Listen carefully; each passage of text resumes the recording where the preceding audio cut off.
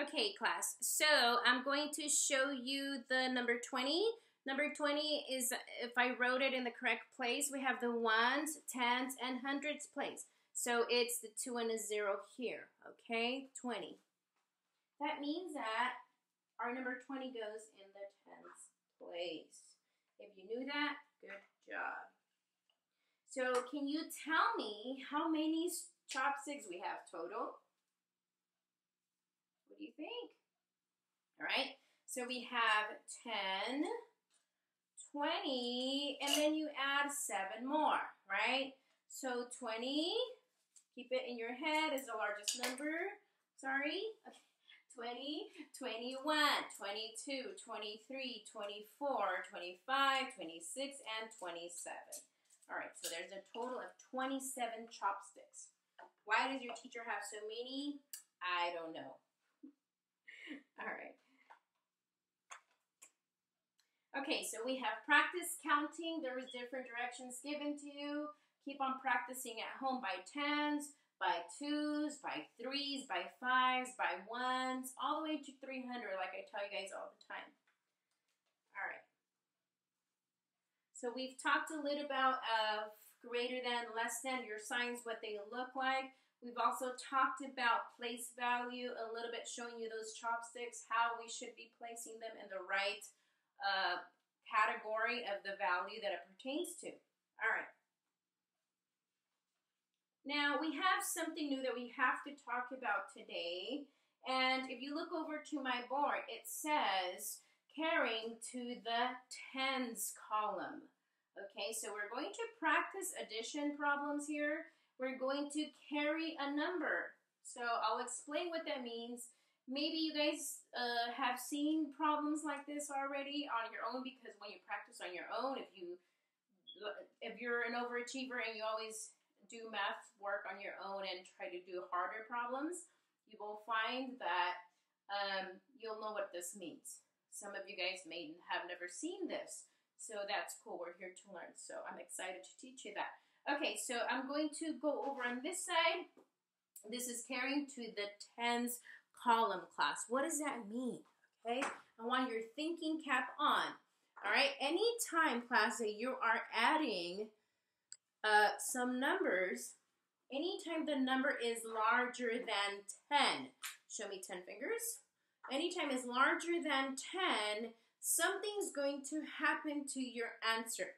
Okay? You're not going to be able to place it in the ones place. Okay, so you're going to start carrying or putting whatever the other number is, the other digit, you're going to place it in the tens place. You will see what that means in a second, okay? All right. So let me just move this over a little bit. Hopefully this works better. All right. All right, so thank you so much for your patience, guys. You guys are so patient, like I tell you all the time. I appreciate you working with me. Um, so I'm trying to do my best to make sure you're able to see everything I write, you understand it. Okay, so there we go. Okay, first example. We have 47 plus 25. Okay, 47 plus 25. Okay, the first thing that we still can do is make our split down the center, okay, so that we can focus on the right side, which is our ones place. Okay, what is 7 minus 5? All right, 7 minus 5? Think, think, think. All right, you can keep 7 in your head. We're going to have, I'm going to put five fingers out just to keep it, uh, the larger number in my head and we're going to add 5, right? So 7, 8, 9, 10, 11, 12, and hold up. Sorry, 7, 8, 9, 10, 11, 12. I'm sorry, I made a mistake. Okay, so 12. Your answer is 12. 7 plus 5 is 12. Watch. Okay, watch.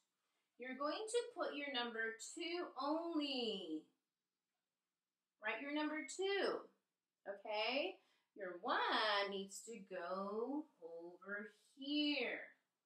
It becomes part of this addition problem on the tens. So when we are carrying to the tens column, this is what it means. Anytime you have a number class that is larger than 10, larger than 10, um, you're going to carry your number to the tens place. So what is 4 plus 1? Okay, 5 is correct. What is 5 plus 2? Okay, 7 is correct. Okay, your answer is 72. Okay, are you guys ready for the next problem? Okay, the next problem is 62 plus 28. All right, 62 plus 28. First thing you have to do is make your split. All right? So again, any number that is 10 or more, let's say 10 or more, that's when you have to carry your uh, number to the tens place. So 8 plus 2 is what class? Tell me. Yes, 10 is correct. This is not what I want to see you do. Okay, so you are not going to put your 10 here and then continue working your problem. That would be wrong. Okay? Don't do that. Okay? Um, it will take you a little bit of practice for you to figure out how to work these problems and remember, oh no, I can't put that number there. I need to carry it over, okay? So 8 plus 2 is 10. Okay, my 1, watch, my 1 goes all the way in here. All right, so 8 plus 2 is 10. Carry the 1. What is 1 plus 6? Okay, 1 plus 6 is 7. What is 7 plus 2? Okay, the answer is 9. All right, if you got it correct, give yourself a star. Awesome job. I have a few more numbers. I'm not sure if you're able to see. We need to work those problems. So let me just see if I can move you a little bit so you can see better. Is that better? Yes, it is. Okay. So we have the problems 39 plus 23. 39 plus 23. Okay. Um, go ahead and write those down. Make sure you're working along, all right? Okay, so let me go ahead and make my split. All right. Okay, so 9 plus 3. 9 is the largest of the those numbers. Uh, I'm going to keep it in my head and just put out three fingers. Okay, we're going to get better as we go along. You'll see that you will catch on and work out those problems without even taking fingers out or without using crayons or pencils or whatever it is they use right now to count. Okay, so 9, 10, 11, 12. Okay, so let's go ahead and put your number 2. Bring your 1. Okay, carry your 1. Repeat after me. Carry the 1. Good job. So what is 1 plus 3? 1 plus 3 is 4. Show me 4 fingers. Okay, so keep 4 in your head. Uh, 4 plus 2 is? Okay, the answer is 6. Okay, if you got 62, give yourself a happy face. All right, good job. We are catching on, right? These are fun? They're not bad. Okay, next problem. We have 4 plus 6. Go ahead and make your split. 4 plus 6 is, keep the 6 in your head, okay? You probably already know that without even thinking about it that hard, but 4 plus 6 is 10. Put your zero down, bring your one, carry the one. Okay, what is one plus two? Okay, three. What is three plus three? Six. Okay, give yourselves one, two stars. Good job. So thumbs up if you're understanding.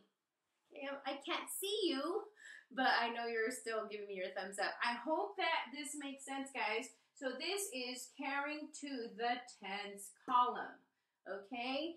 Anytime you're adding numbers and your number equals 10 or more, you have to carry your number up to the next place, which is your tens place, okay? All right, awesome job. All right, so we've practiced counting. We have practiced, I've given you examples of how to carry to the tens place. We've done a quick review of uh, greater than, less than.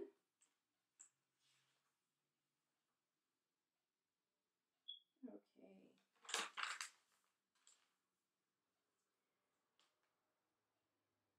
I have uh, two story problems that I have to go over. So make sure that you're paying attention, okay guys? All right. Let me go ahead and erase this for so that we have more room here, okay?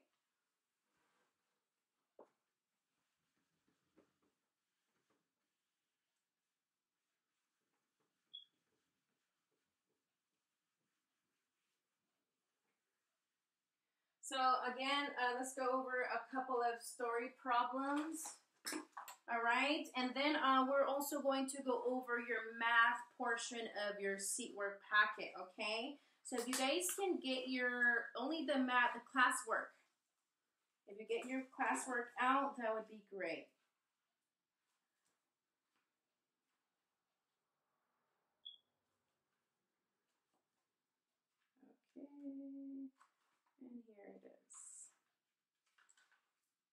Okay. So I'll just provide you with a few directions regarding what you need to do for your classwork. That's easy. These problems are actually there. The examples of carrying your number to the tens place, there's some examples for you to work on. Okay, so that should be awesome. That should be easy. Okay, and I do see a couple of problems here that we're going to have to go over as well. Okay, two story problems. Listening ears. Okay, there are five ladybugs and seven bumblebees. Okay? There are five ladybugs and seven bumblebees on mom's flowers. How many insects were there all together? And why. So I've talked to you guys about how anytime there's a story problem class, whenever they give you a number word, a number word, you need to underline it just for yourself so that you can visually see, oh, wait a minute, or pay attention to, oh, wait, this is a number. So it has to go plugged into my story problem, okay? So let me show you of what, what that means or how it could look, okay? So usually if you guys have your story problems, or even on your test, when I give you a story problem, you guys need to plug in the answers here, right? Okay. So, story problem. There are five ladybugs. Okay. And seven bumblebees and seven bumblebees on mom's flowers. How many insects were there all together? So when we hear all together, class, it means you're adding all of those numbers, you're combining them, okay, the total amount. So all together, you're to sum those up. And what is your answer? Okay, equals 12. right? One more problem for you. Mike, all right, hold on, let me draw these really quick, just so that I have them ready for you. Okay, Mike pitched 11, 11 softballs to Rob. Rob hit six of them. How many did Rob not hit? Okay, anytime that we're making a comparison of two numbers, hint, hint, that means that we're going to subtract, okay? So Mike pitched 11 softballs to Rob. Rob hit six of them. Okay, so he only hit six of them, so we have to subtract by six. And our answer is 5. 5. Okay. All right. Okay, so that's all that we have to cover for our lesson for today, class. So um, what I want you to do now is to get your classwork ready. Okay, I'm going to go over a few things only, all right? Classwork, lesson 134. It says here, write the sums, add the ones first, then add the tens. Be sure to add the number in the carrying box. It simply means, guys, you're going to uh, carry your one on the tens side, okay? So for number one, we've gone through those examples. Now, I do see here that in number two, we need to go over this because I don't think we've gone over examples like these. So we have 76. We have 76 minus 44. Okay, so two digit subtraction. Okay, two digit subtraction. We haven't these done these in a while actually. 76 minus 44. Okay, we are still making our split. Okay, 6 minus 4 is what? Okay, yes, 2 is correct. And then 7 minus 4 is 3. Okay, work your problems the same way. Okay, guys? Now you, um, number 3, it says you're going to count from 151 to 160. Write the odd numbers in the triangles. Write the even numbers in the circles, okay? So make sure you're paying attention to the directions. There's two directions. You're accounting from 151 to 160. Anytime it does not tell you specifically what to count by, just count by ones, okay? Unless uh, they need you to count by another number, they will specify in your directions, guys. Right, right? Because, you know, as I always say, your directions are your friends. So make sure you're paying attention to that. Okay, so number four, add the numbers across. Add the numbers cross, across, I'm sorry. Then add the numbers down. The last row down and the bottom row across have the same sum. Okay? So just make sure to you're gonna you're going to add the 3 plus 2 first. Okay, and then go to the next column, 1 plus 4 across. All right, and then uh, add all of your answers. Okay, that doesn't seem that hard actually. Okay. All right, guys, that concludes our math lesson for today. Make sure to watch both both videos. I was recording earlier and something happened, so uh, I need you to make sure you're watching both of these videos. So hopefully you caught both that both of them. Okay. So I'll see you next time. Thank you for watching and have a good day. Bye.